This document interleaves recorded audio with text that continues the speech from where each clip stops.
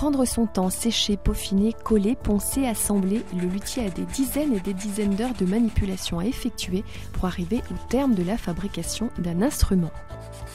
Olivier Pozzo, luthier installé à Nîmes, a appris son métier à la suite d'une reconversion. Il nous explique les grandes étapes de la fabrication d'une guitare. On commence par la, table d'harmonie. Euh, c'est ça, c'est le moteur de l'instrument. Hein. C'est ce qui va permettre de canaliser le flux vibratoire. Hein. Donc ça, c'est de l'épicéa. C'est un, bois qui est euh, très léger et en même temps extrêmement rigide. C'est un bois qui est coupé sur quartier. On voit les, coupes, les veines du bois qui sont euh, longitudinales, ce qui permet d'avoir une fibre tendre et une fibre euh, dure. c'est ce qui lui donne cette rigidité. Donc cette table d'harmonie, on voit qu'elle a, ce qu'on appelle des barrages. C'est vraiment eux qui vont canaliser la vibration. Hein. Quand j'en suis à ce stade-là, je sonne la table pour voir le son qu'elle donne.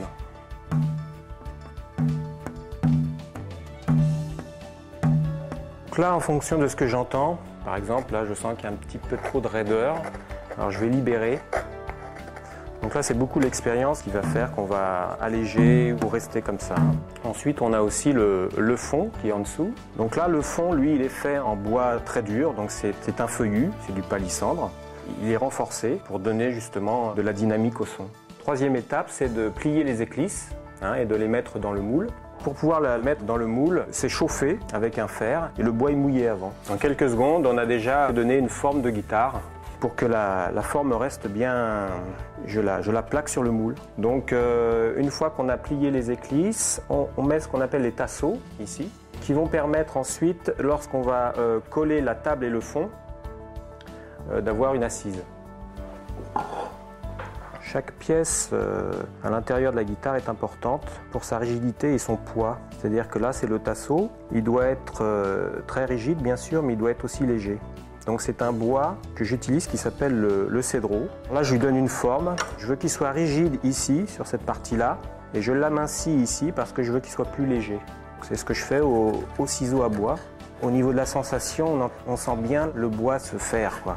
Ce qui me plaît le plus, c'est d'être euh, face au morceau de bois, face à la matière brute. On va le façonner. À la fin de la journée, quand on a bien travaillé, on regarde et on est très content.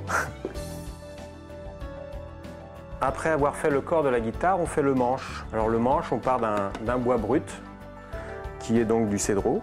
Donc là, j'ai déjà travaillé, j'ai fait la tête, c'est-à-dire que j'ai coupé une partie de ce morceau de bois, j'ai fait un angle 14 degrés, j'ai coupé, et cette partie qui restait, je l'ai collée ici.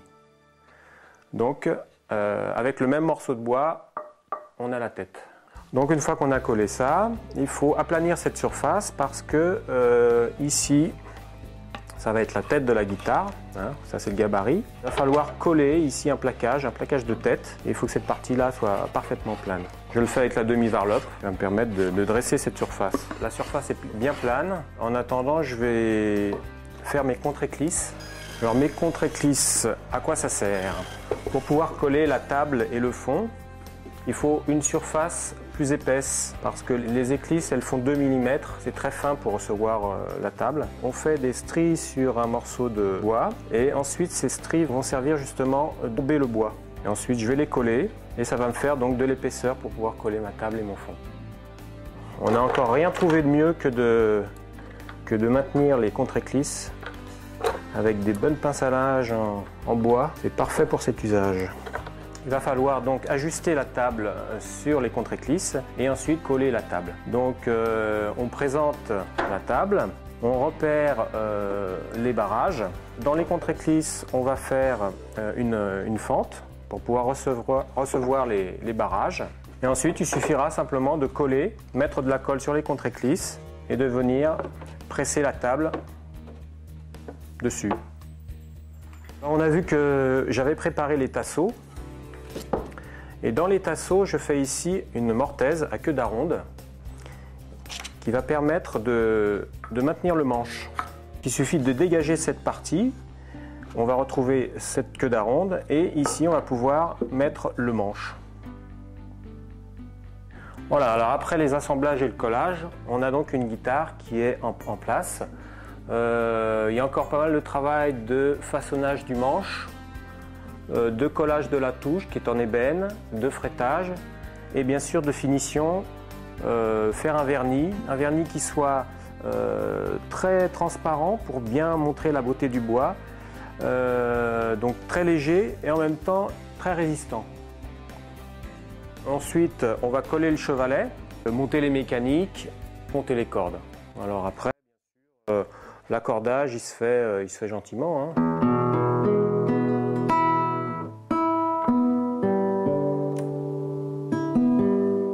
beaucoup de travail sur une guitare, mais beaucoup d'amour bien sûr parce que chaque étape est faite avec, euh, avec passion et souci du travail bien fait.